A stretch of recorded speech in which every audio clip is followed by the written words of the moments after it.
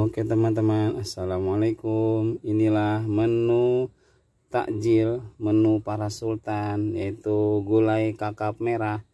Bantuin orang tua cek. Salam berkah bersama.